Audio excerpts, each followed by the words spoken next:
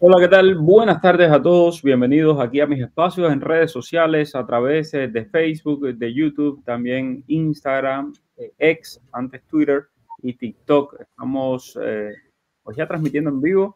Tenemos información que ha salido publicada en Axios, una importante publicación acá de los Estados Unidos acerca de los próximos planes del presidente Biden antes de fin de mes. También vamos a estar hablando de lo sucedido con el paro humanitario, de todas estas negativas. Vamos a estar hablando de todo esto con los abogados de Gallardo Law Firm. ¿Cómo está, abogado? Todo bien, Mario, todo bien. Gracias por tenerme aquí una vez más. No, gracias, gracias a ustedes, abogado, por estar siempre ahí, por eh, pues, acoger las preguntas de la audiencia. Vamos a lo primero, vamos a hablar de eh, la, esta ola de negativas del parol. Eh, voy a revisar, hablando con ustedes por enésima vez, el correo electrónico hasta este momento son las cuatro, digo, las cinco y dos minutos. No hay absolutamente nada de respuesta oficial. Le dije las cuatro porque estaba viendo el último mensaje que le envié a las cuatro y veintidós. Les envié otro mensaje más al Departamento de Seguridad Nacional pidiendo una respuesta a lo que está pasando, toda esta cantidad de casos denegados de parol humanitario, pero hasta el momento no hay nada de respuesta. Quiero mm, pedirles de favor a todos los que se van conectando a esta hora que nos ayuden compartiendo el live. Ahí se ve que está bastante, el algoritmo nos, nos está favoreciendo y está bastante eh, lento. La, eh, no, evidentemente nos están notificando. Ahora, quiero que, que escuchen lo que me dijo un, eh, una de las personas que eh, ha estado bien pendientes de todo este tema del paro humanitario y que em, lleva una aplicación que no es oficial, no es del gobierno de los Estados Unidos, pero que miles, según él, más de 250 mil inmigrantes utilizan para seguir sus casos de inmigración. Vamos a escuchar lo que él nos dijo, porque eh, él, dice que, que vio reflejado ahí el pico este de negativas. Vamos a escuchar. Hola Mario, eh, Ángel por acá, de la aplicación de Imigre. Muchos de ustedes nos conocen ya, somos esta aplicación que monitorea los casos de, de USCIS, sobre todo para lo humanitario. Em, nada, como estábamos hablando en la mañana, el día de ayer fue un desastre con el tema de las delegaciones. Estábamos viendo em, al cierre de la mañana de hoy, vimos aproximadamente 3.480 casos denegados en un solo día dentro de nuestra comunidad. Estamos hablando que estamos siguiendo actualmente un poquitico más de los 250.000 casos de paro y ver que hay eh, más de 3.000 denegaciones en un solo día es un récord totalmente histórico, negativo, pero histórico para, para, para nuestra comunidad. Para que tengan una idea de qué tan grande es este, este volumen de denegaciones, el día con más denegaciones después de hoy en nuestra comunidad fue el 3 de junio, el 3 de abril, disculpa, pasado, y reportamos 24 denegaciones. Son de 24 negaciones, que era nuestro récord anterior, a 3.480 negaciones al cierre de la mañana de hoy, realmente es totalmente fuera de lo normal. Em, ¿Qué estamos viendo? Y esto nos causa eh, muchísima, muchísimo atención, ¿no? Número uno, porque no creemos que, que estas negaciones sean 100% reales. Cuando me refiero a reales, me refiero a que yo todavía creo que es un error de USCIS. ¿Y por qué lo creemos? Número uno, las denegaciones no siguen el orden cronológico que están siguiendo las aprobaciones. En el caso de las aprobaciones, estamos viendo que, sobre todo para los cubanos y venezolanos, las aprobaciones están por el día 13 de eh, enero de 2023. So, se están aprobando casos en su inmensa mayoría el día 13 de enero de 2023. Em, ya algunos poquitos saliendo del día 14. O sea, el orden cronológico va limpiando, em, como bien USCIS ha dicho en los últimos, las últimas declaraciones, em, va limpiando por el día, por enero los casos de enero 13. Eh, las denegaciones, sin embargo, no cumplen con este orden cronológico, o sea, no es que estén abriendo un caso el día 13 y lo estén denegando porque por ahí es el criterio de denegación que, que exista. Eh, sin embargo, las denegaciones están totalmente eh, expandidas a lo largo del, de todo el año, incluyendo, incluyendo, incluyendo disculpa, denegaciones ahora del año 2024. Lo que nos hace pensar de que, número uno, como ya te decía, es un error del propio USCIS, o número dos, es algún tipo de automatización que están haciendo para limpiar algún tipo de casos por algo. Por ejemplo, algún tipo de limpieza desde, desde el punto de vista automático que diga que patrocinadores que no cumplan con estos requisitos, entonces serán eliminados del proceso de paro. Algún motivo que realmente nosotros no, eh, no conocemos, y esto evidentemente es totalmente especulativo de nuestra parte, ¿no? pero estamos intentando eh, entender qué es lo que puede estar pasando acá. Estas gráficas que te, que te compartí eh, lo hablan bastante claro. Eh, vas a poder ver el, el rate de aprobaciones en nuestra comunidad versus las denegaciones. vas a ver cómo las, estas denegaciones subieron exponencialmente el día de ayer, inclusive solapando las, las, aprobaciones que hubo récord en, en, los primeros días del mes de, de abril. y sobre todo, de nuevo, lo que más interés nos causa es que no se corresponde estas denegaciones con el orden cronológico que están siguiendo las aprobaciones. Bueno, esta es eh, una de las tantas explicaciones que, como repito, hasta el momento no hay ninguna explicación oficial, la estamos pidiendo, la seguimos pidiendo y la seguiremos pidiendo. En algún momento se cansarán y nos responderán, pero bueno, nos dijeron que van a investigar lo que está ocurriendo que nos van a dar una respuesta. Hasta este momento, esta tarde, no han dicho nada, estamos esperando y por supuesto en cuanto haya una respuesta oficial, aquí vamos a estar de primeros para contárselo. Ahora, abogado, ustedes desde la oficina, ¿cómo lo están viendo? Eh, muchos reportes, reportes de personas que sencillamente fueron denegados, eh, personas que tenían, eh, por supuesto, cumplían con los requisitos. un patrón sencillamente no hemos podido discernir a ver qué es lo que está pasando desafortunadamente, pero sí yo creo que eh, algo sucedió con el sistema. Eh, habría que analizar todas estas denegaciones para ver si tienen algo en común y los hicieron que lo denegaran. Sencillamente vamos a, esperar, esperar la noticia cuando, en cuando te respondan. Si existe algún tipo de comunicado oficial que hace USCIS, que dudo mucho que lo haga porque ellos no van a dar la decisión eh, ni van a explicar por qué ellos tomaron ningún tipo de decisión. Sencillamente sucedió lo que sucedió. Ok, aquí con Miguel Fader, que dice que muchas personas seguían por aplicaciones, la única página oficial es la de, la de USCIS. Evidentemente, eso lo hemos dicho siempre aquí. No obstante, en la página oficial de USCIS hay cientos de cubanos, y digo cubanos porque he visto algunos casos, pero no tan numerosos como los cubanos, de eh, que han entrado a su página oficial y que han encontrado el, el non-confirm, la, la, este correo electrónico que te envían con el archivo PDF que dice que no estás confirmado. Entonces, eh, da igual eh, si lo encontraste en la aplicación o lo encontraste en la página oficial, si estás no aprobado, es no aprobado. Ahí eh, perdiste la oportunidad. Ahora, abogado, ¿cuál es la recomendación con estos casos, con este non-confirm? ¿Deben aplicar de nuevo? Volver a aplicar, volver a aplicar, cambiar, actualizar la información. Si poner toda la información actualizada, si ya tienen los taxes del 23, subir los taxes del 23, una carta nueva del empleador, una carta actualizada del banco, es decir, hacer una aplicación como si la estuviesen haciendo desde cero para que entonces eh, sea eh, efectiva. Por supuesto, en la aplicación vas a tener que poner, eh, si habías hecho una aplicación anterior, vas a tener que poner cuál fue la aplicación que hiciste de la misma persona, la fecha que lo hiciste entonces, nada, es la única solución. Desafortunadamente no se puede apelar, no se puede llamar a USCIS. A no ser que ellos hagan, ellos hagan algo automáticamente, nosotros no podemos afirmativamente pedir nada. Ok. Eh, otra cosa importante, y es el título de esta directa que estamos haciendo. Biden prevé una acción drástica en inmigración antes de fin de mes, según Axios. ¿Qué eh, acción es? El día de ayer, Biden dio una, eh, una entrevista casi una hora o una hora y tanto en Univisión. Y en esa entrevista, el periodista le dice, ¿qué va a hacer usted para solucionar el problema más difícil y que más, eh, la palabra es, eh, que, más eh, polariza a la sociedad norteamericana, que es la inmigración? ¿Usted va a tomar alguna medida en la frontera sur? ¿Va a tomar alguna acción ejecutiva para impedir las entradas a la frontera sur? Básicamente, la respuesta del presidente es, algunos sugieren que debería seguir adelante e intentarlo. Lo primero, estamos examinando si tengo o no ese poder, el poder de hacer esta, esta medida. Eh, algunos sugieren que debería seguir adelante e intentarlo. Esto es lo que dijo Biden. Y si el tribunal me cierra o me detiene, el tribunal me detiene. Biden dijo que no había garantías de que tenga el poder de tomar esta medida de cerrar la frontera para las personas que eh, están solicitando asilo acá en los Estados Unidos.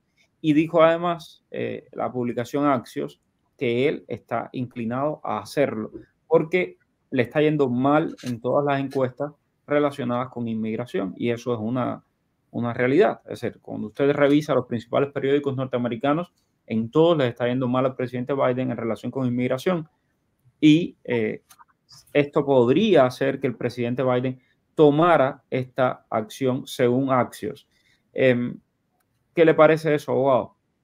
Bueno, eh, esto yo creo que va a ser la alternativa al, al, bill de inmigración que Biden quería pasar y no logró pasar.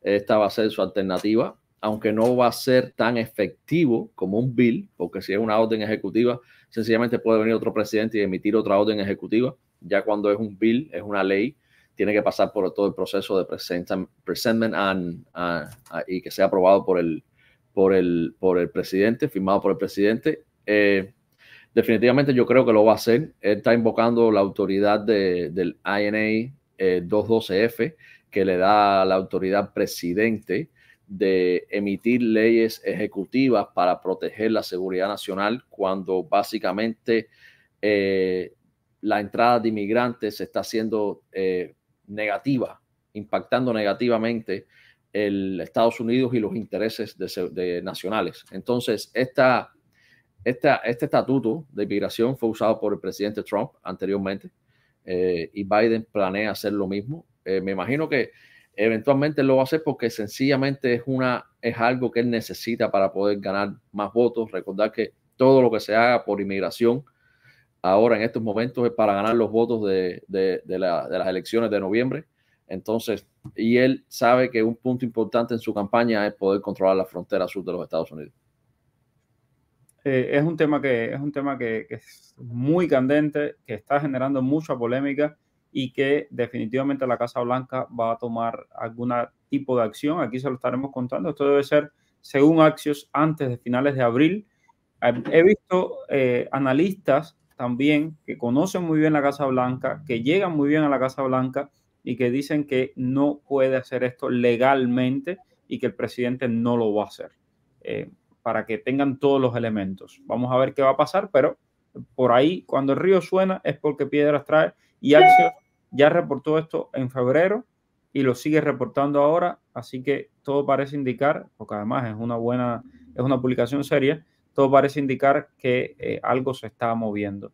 Bueno, mm, vamos a ver, mm, a ver, por acá, buenas tardes, eh, qué triste noticia, esperamos una bendición desde Santa Clara, Cuba. Eh, bueno, muchas, esto ha generado, todo este tema del paro ha generado mucha mm, frustración yo les compartí algunos de los testimonios, por ejemplo, el de Paloma. Vamos a escucharlo. Mi nombre es Nora Saldías, ah, soy cubana, residente de Tampa, Florida. El día de ayer recibí la triste noticia de que luego de esperar durante un año y cinco días, me fue negado el patrocinio hacia mis suegros, a Minervino Guaye y Gustavo Pérez, ambos residentes en Pinar del Río. Ellos son personas ancianas, de hecho mi suegra tiene problemas cardiovasculares, infarto anterior y el objetivo de este parol para nosotros y principalmente para mi esposo, que es su hijo, era brindarle a su mamá mejores cuidados que por supuesto que en Cuba ah, eso no es posible. Fue una triste noticia, realmente no entiendo por qué. La única razón que recibí es que yo no tenía income suficiente y no tenía estatus legal, cosa que no es correcto.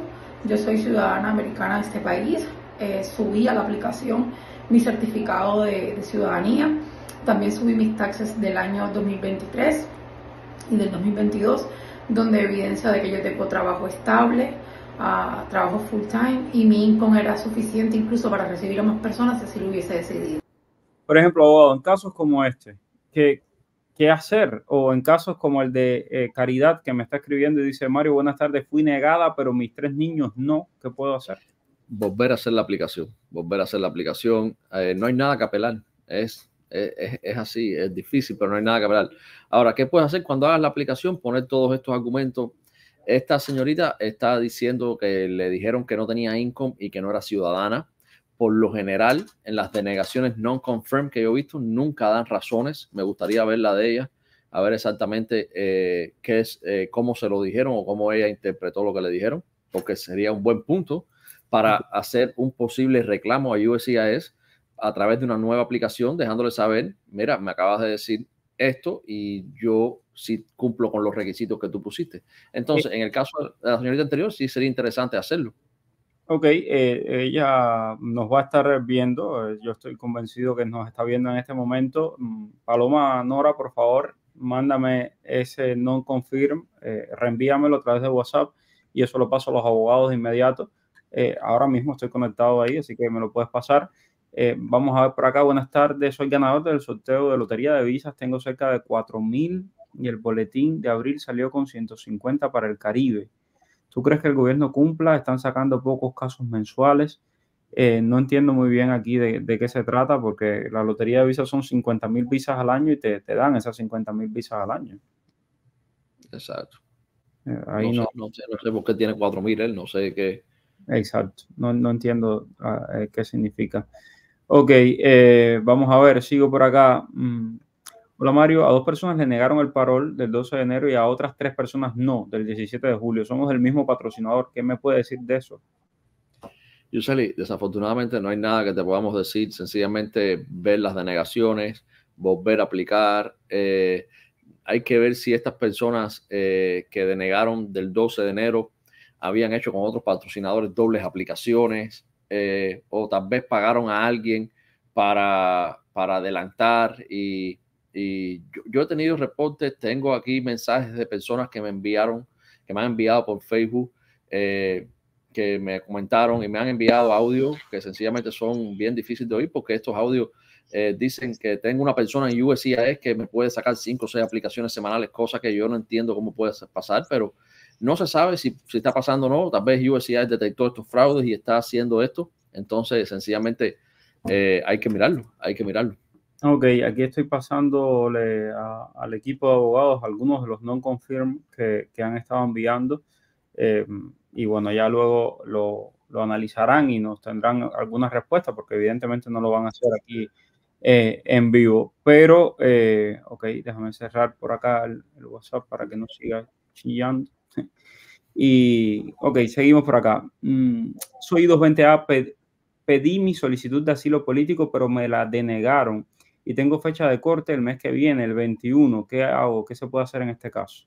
Bueno, Manny, esto es el, los casos que pasaron que las personas perdieron su asilo afirmativamente con UCIS. Cuando tú pierdes con UCIS, sencillamente te van a mandar para la corte. ¿Qué tienes que hacer? Bueno, Osmani, buscarte un abogado lo más rápido posible. Ya tú perdiste el asilo una vez. No puedes darte el lujo de perderlo por segunda vez. No sé si cuando fuiste a UCI fuiste sin abogado, qué evidencia llevaste, la decisión que te dieron, la razón por lo que te la denegaron. Pero si ya lo perdiste una vez, tienes que prepararte para que no lo pierdas dos veces. Non-confirm es denegado, sí es denegado. Exacto. Y bueno, dice López que, no se, que él se pregunta por qué mandan a volver a aplicar si no se sabe lo que va a pasar. Es que, ¿qué puede ser que vaya a pasar? Si, tienes una, un non-confirm, es non-confirm. Es, non-confirm. Yo eh, creo que hay más, eh, no, las posibilidades de que sea un error y que USCIS mande una carta diciéndolo a todo el mundo, te denegamos por error, son bien pocas. Yo también lo creo, sinceramente. Pues, de la manera en que se ha actuado durante todo este periodo de parol y lo hemos visto. Hay muchas personas a las cuales les han negado el parol humanitario y cuando te cuando le, se, le, pregunta yo hacia este dicen no hay nada que responderte porque es una decisión discrecional. Estoy esperando la CBP, pero como es lógico, nunca se sabe qué tiempo demore. Se me vence el pasaporte en agosto. De renovarlo, ¿me puedo presentar la cita con los dos? Claro, por supuesto que sí. De hecho, te puedes presentar, entendido, hasta con el pasaporte vencido. Ok, después de que te aprueben la I-134A y solicitas la autorización de viaje, es posible que te la nieguen, claro. Es muy posible que te la nieguen, que te la nieguen. Le, ha pasado a mucha gente. Eh, así que ojo con eso. Eh, de hecho, y esto es otra cosa que también se los he recomendado muchas veces, si usted ya le llegó el permiso de viaje, no se espere a andar eh, no, porque voy a esperar una semana, no, porque voy a esperar un mes. No, si se puede ir lo antes posible, váyase lo antes posible. Conocemos muchísimos casos de gente que hoy le llegó el permiso de viaje y en tres días le llegó el mismo permiso de viaje denegado. Entonces, ojo con eso. Eh, a alguien, eh, me imagino que, Blanca está preguntando si a alguien lo han, le han negado hoy el parol. sí, a unas cuantas personas el día de hoy le ha pasado. ¿Van a quitar CBP o es para todos los que entran ilegal? No van a quitar CBP. Eso eh, lo que se está hablando y lo que está hablando Axios es en referencia a las personas que cruzan ilegalmente y que piden asilo. Pero CBP no creo que se la vayan a quitar a nadie. ¿Tengo CBP aprobada? ¿Esto me afectaría en algo? No. Eh, lo que Axios está diciendo no tiene nada que ver con CBP, son para las personas que cruzan ilegalmente la frontera. ¿Ustedes tienen conocimiento de que hayan aprobado algún caso de los denegados de ayer? No, para nada. Ah, no, eh, absolutamente no. hoy he recibido cientos de mensajes, literal, eh, son cientos y me da pena, no puedo responderlos todos, ni mucho menos, porque son cientos de mensajes de gente eh, mandándome la, la, evidencia de cómo le han negado el parol, pero no de que hayan aprobado a nadie, no. He escuchado que cuando aplicas con el mismo patrocinador existe la posibilidad de un 90% que te la vuelvan a denegar. Eso no es cierto, Carlos. Te voy a decir por qué no es cierto. En este mismo espacio, en este mismo canal, usted puede buscar y va a encontrar eh, casos de personas que han aplicado nuevamente y que las han aprobado. Yo los he entrevistado aquí en Miami. Entonces, no, esto no es verdad. ¿Necesito obligatoriamente ese documento o solo con tener el pasaporte podría pasar? Eh, me escribe Miosi, dice, buenas tardes, ¿qué pasa si perdí mi acta de nacimiento? Soy menor y me encuentro en México esperando la cita. Mi mamá está en Estados Unidos. Bueno, tienes que tener algún tipo de identificación válida. Es lo único que vas a necesitar. Y eres menor de edad. Eh, vas a estar retenida por los servicios de Health and Human Services que van a, tenerte bajo la custodia de ellos hasta, que tu madre te, reclame. Mi sobrino era de enero del año pasado y le acaba de llegar el parol. ¿Qué debemos poner en la parte de las vacunas del COVID? Eso es una atestación. Lo que te van a pedir ahí es que tú te comprometas a ponerte las vacunas del COVID cuando llegues a Estados Unidos, porque las vacunas del COVID de, Cuba no son reconocidas internacionalmente. Entonces, eh, le dices que sí, que te las vas a poner cuando llegues a Estados Unidos y ya, y te las pones cuando llegues aquí. Apliqué a la residencia hace 300 días y ayer me notificaron que me iban a hacer una entrevista. Estoy muy asustado porque no nos sigues hace tiempo, Willy, porque aquí hemos hablado de esto muchas veces. ¿Qué puedo hacer? Bueno, eh, aplicaste con un abogado, lo primero que estás diciendo ahí, pregúntale a tu abogado. Estoy seguro que tu abogado te va a decir que no hay ningún tipo de problema eh, si tienes un parol no vas a tener ningún tipo de problema, sencillamente es protocolar. Si no tienes un parol, muy posible una de las primeras preguntas es enséñame tu parol. Y ahí vas a tener que hacer tu argumento, llevar tu memorándum de ley y bueno, sencillamente eso es lo más básico. Fuera de ahí, sencillamente es preguntarte preguntas de control, de seguridad, confirmar información biográfica, pero nada, nada relevante. Esto no es la entrevista de la ciudadanía. Exacto. Eh, hola Mario ¿qué tengo que hacer para que mi niño, siendo ciudadano español y viviendo en España, pueda venir para acá, para los Estados Unidos? Número uno, le puedes hacer una reclamación, eh, eh, venir con una petición familiar. No importa, esta petición familiar no es para las personas que viven en Cuba nada más, esto es para todo el mundo entero. Y número dos, tu niño también puede venir a Estados Unidos con una visa. Exacto. Miguel Fader, eh, para, para conocer la situación del parol, usted tiene que haber entrado a su cuenta de USCIS y ahí en su cuenta de USCIS, en el inbox, ahí le llega el mensaje al patrocinador, evidentemente, si fue aprobado o no fue aprobado, y eso le, llega ahí al, patrocinador. Una persona que abandona el país sin antes tener un estatus legal puede volver, volver a entrar por CBP One Sí, claro que sí. Lo que siempre corre el riesgo de que te hayan deportado en ausencia. No sabemos el, el, eh, específico de esta persona, pero sí, puedes hacerlo. Ok. Eh, vamos a ver, sigo por aquí. En caso de los que llegamos con parol, ¿existe fecha límite para presentar la residencia después del año y un día? No, para nada. Exacto. Ok, vamos a ver. Em, este ya lo leí. Eh, hola Mario, mi sobrino era de enero del año pasado, le acaba de llegar este es el, del COVID. Eh, ok, vamos a ver. Conozco tres personas denegadas de febrero 21 con diferentes patrocinadores. Eh, en una aplicación I-134A se puede tener dos patrocinadores, sí, lo hemos dicho. Sí, pero en la misma aplicación, no dos aplicaciones separadas. Eh, exacto. Un joven de 19 años no tiene problema al entrar a Estados Unidos, ya, ya es mayor de edad, más de 18. me imagino que me estás preguntando por si es mayor o menor de edad Una petición I-130 de hermano a hermano aprobada al beneficiario, que la I-130 puede venir con su esposa. Y la otra pregunta, ¿llega el beneficiario con residencia o debe esperar un año para aplicar? Bueno, si viene por la reclamación normal, eh, eh, que, sin, ah, que no sea a través del parol de cubanos, vas a entrar con residencia. Si vienes con el parol de Cuban Parole Reunification Program, que eso es lo que hace que se agilice. Si no, me imagino que le pusiste la petición a tu hermano hace 15 años o 20. Entonces, eh, no va a entrar con residencia, va a entrar con un parol. Al año y un día tiene que aplicar. Mi niña de 6 años está con mi abuela, está enferma, su papá y yo estamos aquí, el parol aún nada. ¿Qué podemos hacer, abogado? Eh, la niña de 6 años está en Cuba con el parol, esperando. Bueno, ¿qué puedes hacer? Mandarle un mensaje a USCIS eh, a través de tu cuenta, eh, hablar con tu congresista local aquí en Estados Unidos, mostrarles el caso, el número de recibo, hacerles una carta a ver si ellos pueden tomar acción y ayudarte con este caso. Legalmente, solamente mandar mensaje a USCIS eh, dejándoles saber la situación extrema que está pasando y las circunstancias humanitarias que requieren una acción rápida. Tengo por aquí a la muñequita, dice Mario, a mí no me han negado los paroles, pero tampoco me los han aceptado. ¿Qué hago? Esperar esperar. Tengo Odalis, dice, esto es una locura, abrieron las puertas, ahora están virando a las personas para Cuba, esto es inconcebible. Eh, Odalis eh, eh, llama la atención. Hay que recordar que el mismo presidente Joe Biden dijo que era irracional deportar a personas a Cuba, Venezuela y a Nicaragua. Lamentablemente, pues lo han hecho. Mario, hace un mes apliqué para mi residencia, ya me llegó el recibo, pero tengo una corte en mayo y envié la moción de corte. ¿Qué crees de eso? Eh, nada, esperamos que si eh, tienes parol, eh, no vas a tener problema para cerrar esa corte. Dice Carlos Oficial, me llegó el parol, el permiso de viaje, si en unos días me lo niegan, ¿qué pasaría? Si te lo niegan, te quedas en, Cuba o donde estés, o en Nicaragua, en Venezuela, en Haití. Entonces, Carlos, oficial, agarra tu permiso de viaje en cuanto lo tengas, montate en un avión y ven. ¿Sabes algo de las denegaciones masivas del día de ayer? Chávez, eh, Giselle, es lo que hemos estado hablando hoy.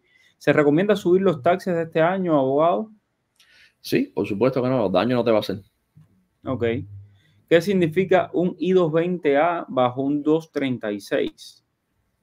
Esa es la sección en la cual usted fue liberada. Por lo tanto, usted lo que fue otorgado fue un parol eh, condicional y este parol eh, condicional no sirve para la aplicación de ley de ajuste cubano porque ustedes lo procesaron bajo la sección 236. Es un tecnicismo de la ley, eh, algo con lo cual nosotros no estamos de acuerdo y hemos hecho nuestros argumentos porque muchas personas deberían haber sido aprendidas bajo el 235 y procesadas bajo el 240. Cosas de la ley que sencillamente son los argumentos que se están haciendo. Ahora, eh, ¿Qué, preocuparse si tienes un arresto, si tienes una, orden de arresto? Esto es una de las cosas fundamentales que tienen que buscar en sus papeles.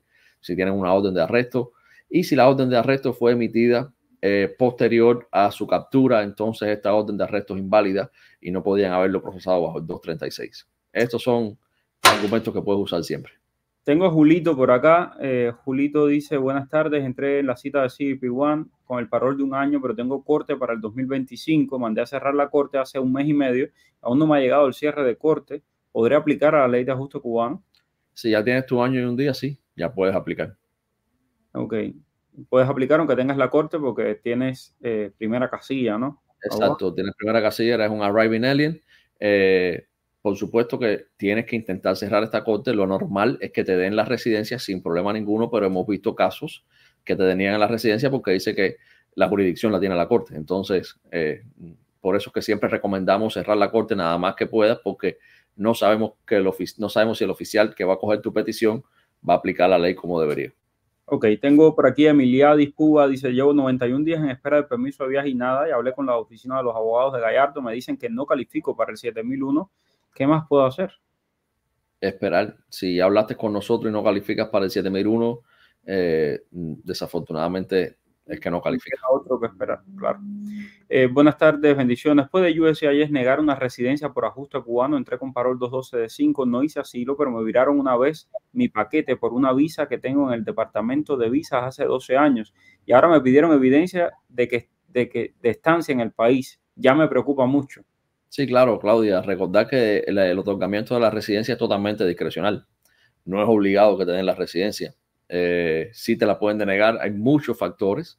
Espero que estés haciendo la residencia con un abogado. Espero que eh, ya después que si no lo hiciste con un abogado, te busques un abogado para responder esta evidencia adicional y escribir un memorándum de ley y poner, organizar toda la evidencia, porque sencillamente si ellos lo están mirando con una lupa, tú tienes que poner un esfuerzo mayor para que te la prueben. Claro. Eh, Yaite Arias, tengo una niña de cuatro años en Cuba, estaba bajo el cuidado de su abuelita, la abuelita falleció, lo siento mucho. ¿Qué se puede hacer para traer a la niña a Estados Unidos si el padre es residente y la madre está en México esperando la CGP1? El padre le puede poner una, una reclamación familiar. Ahora, algo más rápido sería una visa humanitaria, eh, pero ya ahí tendríamos que argumentar que sencillamente la vida de la niña corre peligro, que no tiene con quién estar en Cuba ya que estaba bajo el cuidado de la abuelita y desafortunadamente falleció.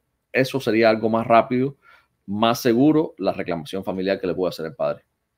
¿Te pueden deportar aunque entres con CBP? Claro que te pueden deportar. Si haces algo mal, si te portas mal en este país, te pueden deportar. Así que haz las cosas bien. Si eres cubano, aplica al año y un día la ley de ajuste cubano. Si no eres cubano, haz tu asilo. Importante, eso lo repetimos aquí hasta el cansancio. Después viene el llanto y el crujir de dientes. Cuando decimos tienen que hacer asilo, hay que hacer asilo o casarte con algún ciudadano, algún residente, por amor evidentemente, pero son las, las vías, algunas de las vías que hay para, para eh, legalizarse. El tema es que después te vas a quedar sin nada y después, ay no, porque me quieren deportar, qué malos, qué malos, qué malos son. No, te dejaron entrar para que pidieras asilo. Esa es la vía, ese es el caminito. Gracias a todos, gracias abogado. No tenemos nada oficial todavía de USCIS, de CBP, sobre el tema de la denegación esta masiva de paroles. En cuanto haya algo, lo vamos a estar transmitiendo. No se olvide de suscribirse y activar la campanita para que no se pierda la notificación cuando salgamos en vivo. Gracias, abogado. Gracias, Mario. Hasta luego. Un abrazo. Dime cuál es el periodista que está en el boom. Es Mario Rincón. El periodista que te trae toda la información. Es Mario Rincón. El periodista de la radio y la televisión. Es Mario Rincón. Habla de temas cubanos hasta de migración. Mario Rincón. Oye, dale, conéctate y comparte, comparte. Déjame un like